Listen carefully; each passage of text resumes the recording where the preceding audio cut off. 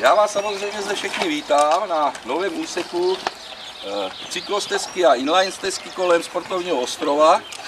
Eh, Myslím si, že to je zase určitý eh, díl investice, který pomůže a eh, vlastně podpoří sport ve městě Blansku. Jinak teda jenom pro vaši informaci, takže tady ten úsek vlastně eh, s tím příslušenstvím stál něco přes eh, 1 milion korun.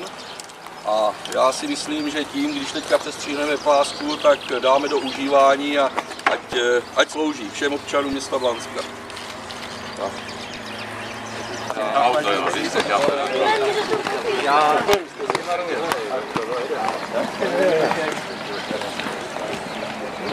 A, to jest wodę. A, nie tak jest.